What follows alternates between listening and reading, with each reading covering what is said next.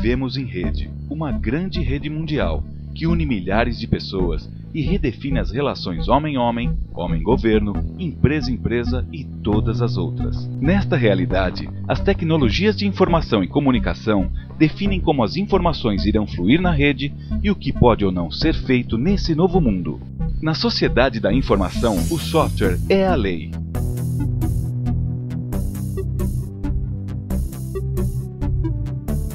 Software é o produto final de um processo de sistematização de ideias, escrito, codificado e traduzido para o entendimento da máquina. Alguém imagina uma funcionalidade ou a solução para um problema. Alguém sistematiza essa ideia. A ideia sistematizada pode ser codificada. O código é traduzido para um formato binário compreensível pela máquina. Esse processo chama-se compilação.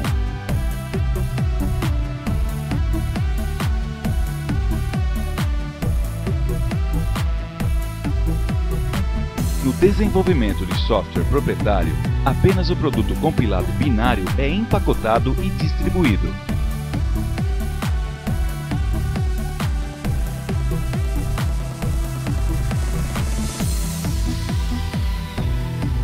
Somente a empresa detém o conhecimento necessário para o desenvolvimento do software.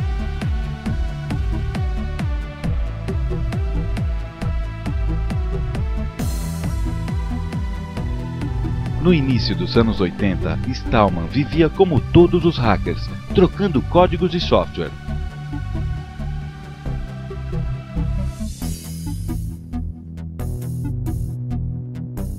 Porém, em determinado momento, ele precisou do código-fonte do programa que controlava a impressora.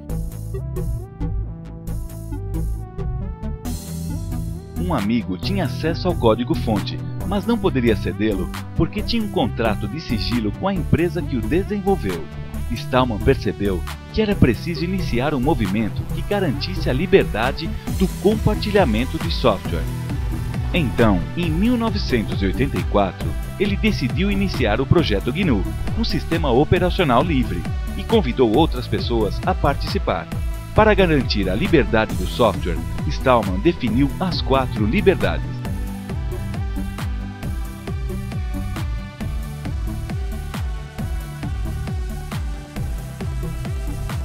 Em 1991, o projeto GNU já tinha um sistema operacional quase completo, mas ainda não tinha um núcleo. Linus Torvalds havia liberado a primeira versão do núcleo Linux. Os primeiros usuários uniram os dois projetos e criaram o popular GNU Linux. Os programas do sistema operacional GNU Linux são licenciados pela GPL, uma licença de uso de software, que garante as quatro liberdades do usuário e não permite que essas sejam retiradas em trabalhos derivados, garantindo que o software permaneça livre sempre. Este estilo de licença é praticamente uma contrariação ao copyright, por isso Stallman o apelidou de copyleft. Como em inglês é normal as palavras terem mais de um significado, o copyleft também pode ser entendido como deixe copiar. Como todos têm a liberdade de usar, copiar, modificar e contribuir, todos participam de todas as partes do processo de desenvolvimento de software e o conhecimento é compartilhado. O software livre passa a ser a apropriação coletiva dos meios de relacionamento na nova realidade e nos dá liberdade de definir as leis do cyberespaço.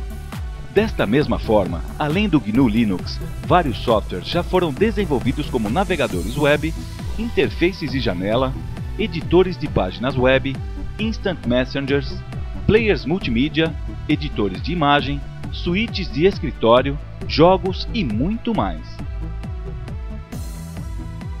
A filosofia do software livre vem unindo programadores, tradutores e usuários na busca de uma relação justa entre produção e uso para um mundo melhor.